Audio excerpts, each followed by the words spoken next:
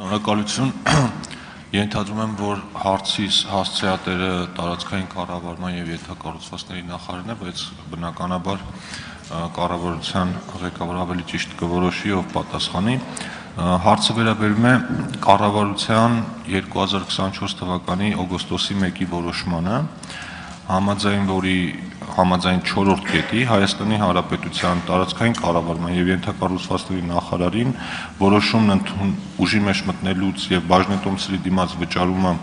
կատարելուց հետո 1 ամսյա ժամկետում պետք է ստեղծվեր ատոմային նոր էներգաբլոկի կառուցում փակ բաժնետիրական ընկերության այդ ինստիտուտը եւ այդ 1 ամսյա ժամկետում նախատեսում էր ձևավորել ընկերության գործադիր մարմին, հաստատել ընկերության կանոնադրությունը եւ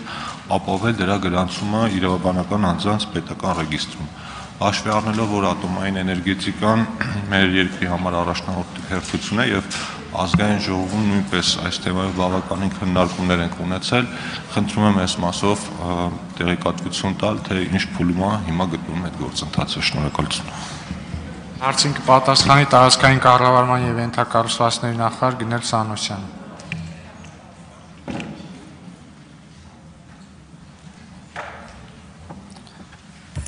Շնորհակալություն պարոն Թունյան հարցի համար։ Ինչպես դուք նշեցիք, այդ որոշումից հետո որոշ գործընթացներ իրականացվել են,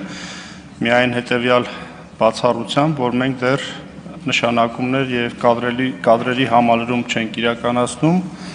մնացած process-ների ընթացքի մեջ են, ինչպես որոշումը կա։ Ինչու ենք այդպես որոշել,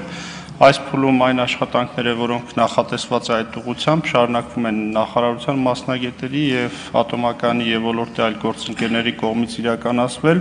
Մենք պետքա լրացուցիչ վերաբաշխումներ իրականացնեինք եւ այդ կառույցին գումար հատկացնեինք, որ այդ ամեն ինչը տեղի ունենար։ Միասին քննարկել ենք, որոշել ենք, որ դա կանենք 25 թվականի սկզբից։ Հիմա բյուջեում գումար կա արդեն 800 միլիոն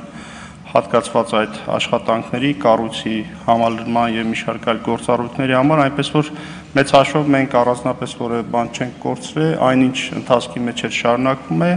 կառույցի նախապատրաստական փուլում ենք, բյուջեում գումար դրված է 25 թվականին կանենք։ Արձագանք Շնորհակալություն պարոն Սանոսյան, այսինքն ճիշտ հասկացա, որ արդեն իր բան ռեգիստրում իրավաբանական անձանց գրանցված է, ֆինանսավորման խնդիրը լուծված է եւ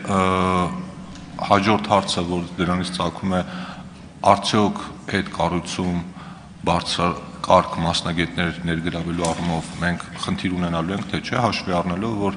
այդտեղ գոնե աշխատավարձերի առումով մենք պիտի մրցունակ բան առաջարկենք, որովհետև տեղից այդ մասնագիտությունների առումով մենք լուրջ խնդիր ունենք համալրման առումով։ Ես պետրեգիստրի մասով հիմա կդժվարանամ պատասխանել ընթացքի մեջ էր ավարտել են թե չէ։ Մնացած մասով, ինչպես դուք նշեցիք, քանի որ նեղ մասնագիտական կարևոր կառույցը լինելու, այո, մենք այս ժամանակը օգտագործում ենք, որպեսզի կարողանանք համապատասխան մասնագետների հravirել, համալրել այդ կառույցը թիմը, որպեսզի անեն այն աշխատանքը, ինչի համար կառույցը նախանշված է, նաև մեր շտապելը դրա հետ է կապված նորից եմ նշում, բայց այն աշխատանքները, որոնք այս ոլորտում կան, քանի որ նոր չեն սկսել, իրենք որոշակի ընթացք ունեն, աշխատանքային խմբեր կան, այսինքն որևէ բաց տեղի չի ունենում, ընդհակառակը այս կառույցը գալու է լրացնելու այն աշխատանքը, որը հիմա տարվում է եւ ավելի մասնագիտացված տեսք տալու։ Շնորհակալություն։ सारो ही बात है